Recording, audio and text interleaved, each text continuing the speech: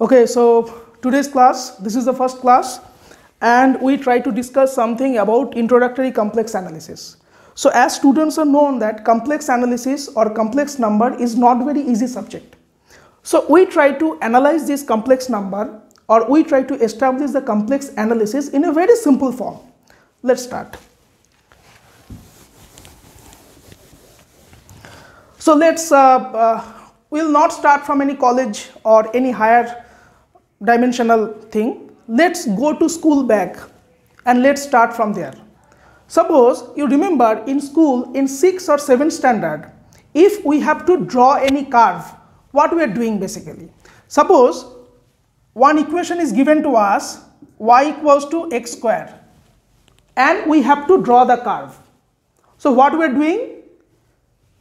First we formulate some x and y points Suppose x equals to 0, so y should be 0 square 0, x equals to 1, y should be 1 square that is 1, x equals to 2, it should be 2 square that is 4 and so on. Similarly, we can take minus 1, so it should be minus 1 square that is 1, minus 2, it should be minus 2 square that is 4. So we are finding 5 to 6 points, then we start drawing the graph. So what is the procedure for drawing?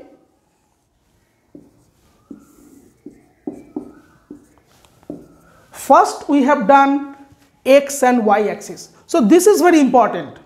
So from class 6 or 7, knowingly or unknowingly, we are drawing this x and y axis. So back of the mind, we thought that something is going on about x and y axis because there are two variable x and y. Next we put this point. So the first point is x equals to 0, y equals to 0. So 0, 0. The next point is x equals to 1, y equals to 1. So it should be 1, 1. Next will be x equals to 2, y equals to 4. So it should be 2, 4. Similarly here it should be minus 1, 1 it should be minus 2, 4. Then we draw the curve.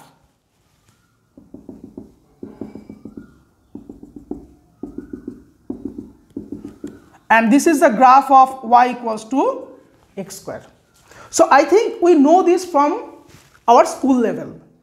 Now I am going to tell you something which is very peculiar that from class 6 or 7 whatever you have done knowingly or unknowingly you are reaching to complex analysis.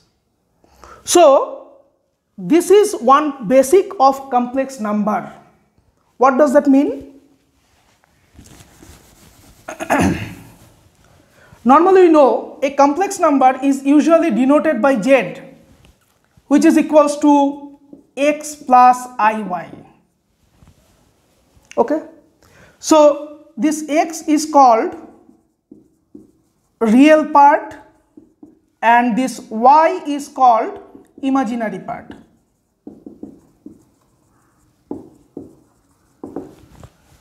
For example, if we have taken z equals to 2 plus 3i, here the real part will be 2 and imaginary part will be 3. So many people are doing some mistake they have written imaginary part as 3i. No, you should not take i. You should take only 3 instead of 3i. Okay.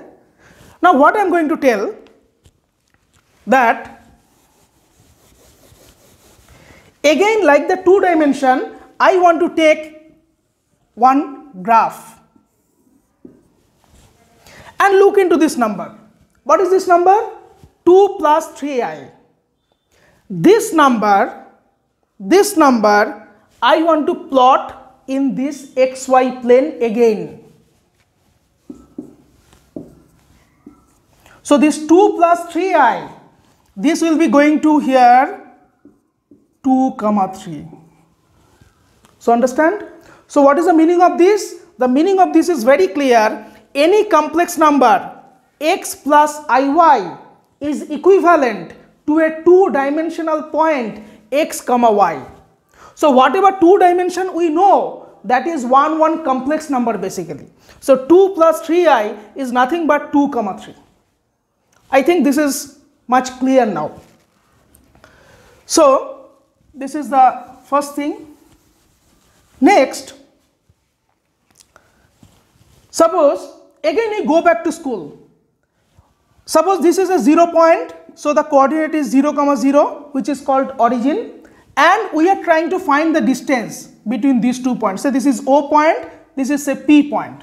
So, what will be the distance according to our trigonometry? So, OP will be root over 2 minus 0 square plus 3 minus 0 square. So, root over 2 square plus 3 square that we know. The same thing we apply for complex analysis. So, what will happen in complex analysis? If we have taken a point say z equals to x plus iy.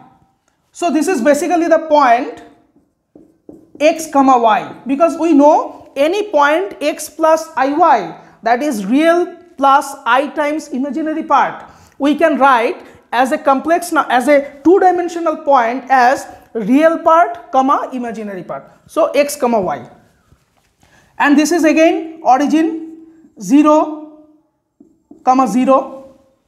This is again a complex number by the way this is actually 0 plus 0 into i.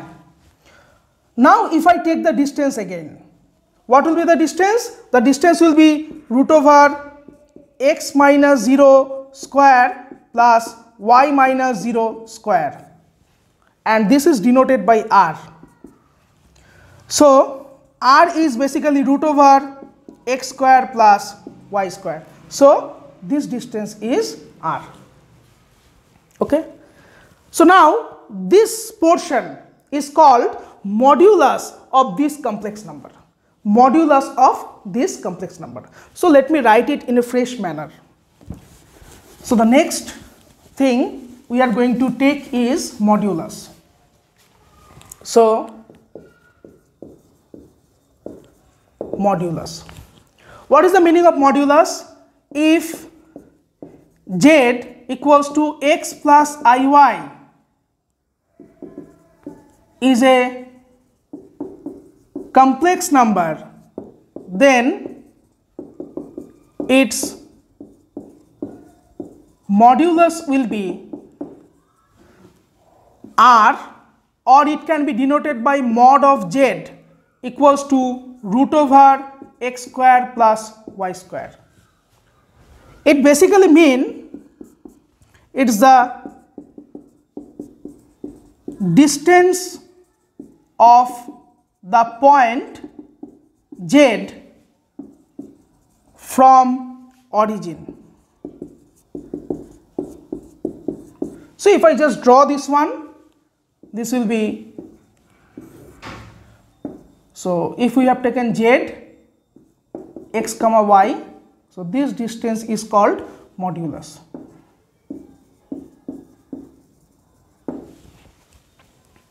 So, one important thing I want to say here is that modulus is a distance and we know distance will never be negative. So, modulus is always a non-negative quantity. Modulus will not be negative anytime because many times when you are doing the calculation, when you are doing root over x square plus y square, so you may think that it should be plus minus. No, it should be always plus. It should be always plus.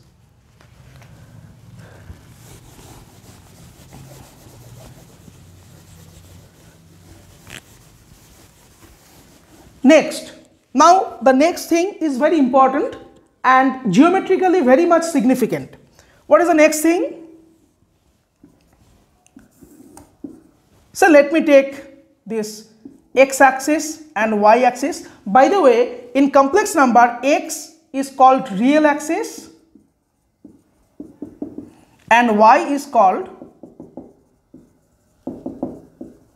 imaginary axis but you can always write that as x and y axis also.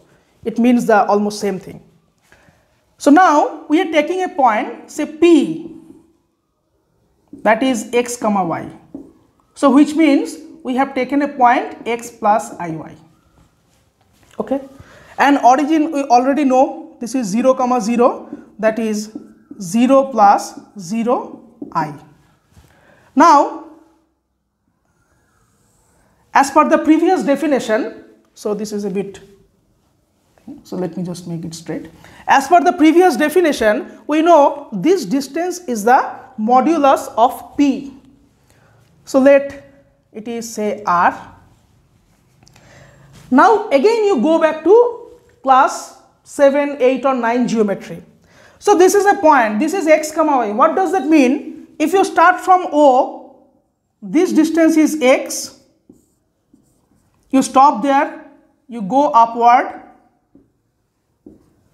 this distance is y. We know that. Now, have you noticed something? There is some angle of this OP with positive x-axis, the angle we denote it by theta. Okay. So now we have got a complete picture. Say this point I can give some name A. So we, we have got a complete picture. We have got a triangle OAP where the distance OA is x, the distance AP is y because it is the point P x comma y and this one is R. Now from geometry, what do we know? From Pythagorean theorem, we know this is a right angle triangle. So, OAP is a right angled triangle.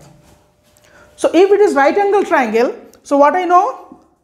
R square should be x square plus y square or R should be root over x square plus y square which is the modulus which we have discussed. So, modulus you can find in as per geometry also. Next what extra thing we have got? We have got one angle theta. So, what is theta? Till now we have not done anything about theta. Now we try to discuss what is theta. So, what is theta? You see if I take tan theta, what will be tan theta? tan theta will be this perpendicular distance divided by the base. So, theta should be tan inverse y by x. So, now friends we can understand that if any complex number is given to us always we can find its modulus that is the distance and its theta which is tan inverse y by x. So, this already you know this r is called modulus, this theta is called